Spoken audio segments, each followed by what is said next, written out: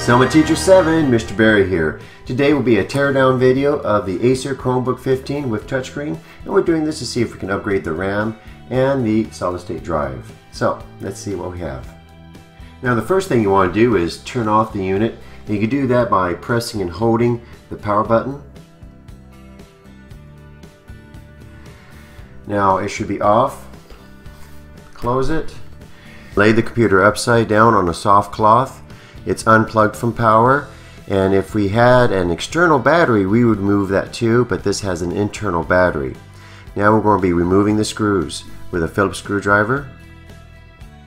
Now there are a few methods for keeping track of those small screws.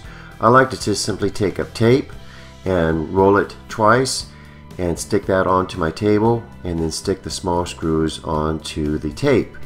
Another way is to use a small container and keep the screws in there.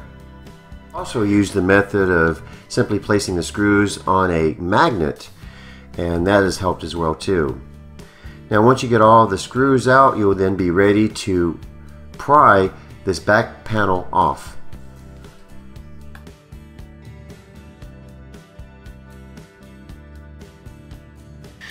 Now once you've removed all the screws from this back plate here you can start prying up from the back corner and you can use a prying tool. And if you left the prying tool in your classroom then you can use something like this plastic card. And you start in that last corner there. And there we go. Begins popping out be very careful about that aluminum corner. It bends easily. Notice how I'm just going around here and releasing the fasteners. I'm doing that with this plastic card here. There you go. Now once you release all the fasteners along the edges, this comes right out.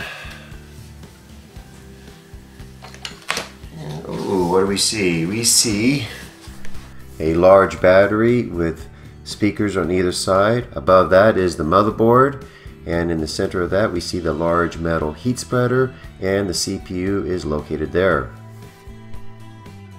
And here we see the Wi-Fi card with the two antenna wires attached to that. And I labeled the I.O. board here. And under that large metal heat spreader, we find the eMMC or storage there. And this is not upgradable, unfortunately. And under that heat spreader, you can also find the 4 gigs of memory, which again is not upgradable. Well, that was the basic teardown video of this Acer Chromebook 15 with touchscreen. Now, I do have a number of other review videos that are talking about this particular hardware, and I go over it running Android apps as well as a number of other things. Please click on thumbs up and share the video. I also love to read your comments down below. I would like to add too that when you do open up any of your laptops or devices, you are voiding the warranty. Thank you again and bye-bye.